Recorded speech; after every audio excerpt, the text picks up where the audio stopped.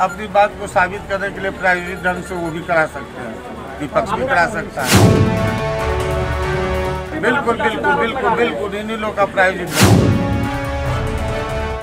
नमस्कार, मैं पूजा प्रिया और आप देख रहे हैं लाइव सिटीज़ इस वक्त की बड़ी खबर आपको बता दें कि राजद विधायक ने बीजेपी पर बड़ा आरोप लगा दिया है। आपको बता कि कल देर शाम बेगूसराय में जो गोली कांड हुआ, उसको लेकर लगातार बीजेपी महागठबंधन को, राजद को, जदयू को घेरते हुए नज़र आ रही थी। लेकिन अब राजद विधायक ने बीजेपी पर बड़ा हमला बोला है, क्योंकि साफ़ लफ्जों में राजद विधायक ने यह तक कह दिया है कि गोली हत्याकांड बेगूसराय में हुआ है, वो बीजेपी के द्वारा भी करवाई जा सकती है। जब पत्रकार ने राजद विधायक से पूछा कि क्या बिहार में सचमुच जंगल राज आ गया है तो इसका जवाब देते हुए उन्होंने कहा कि ऐसा कुछ नहीं है, ये पहले से प्रायोजित भी हो सकता है, ये बीजेपी विपक्ष द्वारा भी करवाया जा सकता है।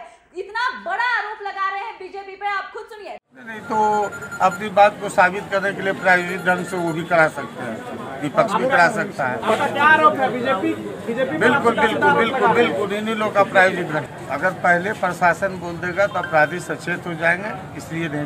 कोई सामने आने पर सब बयान होगा। वो लोग आप लोग को बुला के मीडिया को बुला करके डिप्टी सीएम से आपकी बात हुई है क्या? वो बेगूसराय आ रहे हैं या नहीं नहीं अभी उनसे बात नहीं हुई है। उनसे बात हम कर लेंगे। अभी अभी सिर्फ़ प्रभारी मंत्री जी को सूचना दिया गया वो आ रहे हैं।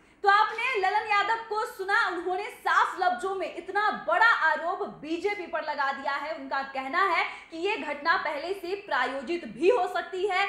ये विपक्ष बीजेपी द्वारा भी करवाया जा सकता है। हालाँकि जब उनसे ये पूछा गया कि क्या बिहार के डिप्टी सीएम तेजस्वी यादव पीड़ित परिवार से मिलने के लिए आ रहे हैं, क्या डिप्टी सीएम तेजस्वी यादव बेगूसराय आ रहे हैं तो उन्होंने इस सवाल के जवाब में साफ़ कहा कि हमारी उनसे अभी बात नहीं हो पाई है इस मसले पर तो अभी मुझे कुछ नहीं पता, लेकिन इस जिला प्रभारी जो है, वो ज़रूर शमीम अहमद, वो ज़रूर यहाँ पर आ रहे हैं पीड़ित परिवार से मिलने के लिए, जो पीड़ित अस्पताल में भर्ती है, जो इलाजरत है, उनसे मिलने आ रहे हैं। अब देखने वाली बात होगी कि जहाँ एक तरफ़ बीजेपी आज बेगूसराय बंद का आवाहन कर चुकी है, और दूसरी तरफ़ राजद के विधायक ने इतना बड़ा और इतना गंभीर आरोप बीजेपी पर लगाया है। तो देखने वाली बात होगी कि आखिरकार बीजेपी इसका क्या पलटवार करती है। बीजेपी इसका क्या जवाब देती है? क्योंकि राजद विधायक ललन यादव ने कोई छोटी मोटी बात नहीं कही। उन्होंने बहुत बड़ा आरोप लगाया है। जो बेगूसराय में गोली हत्याकांड हुआ,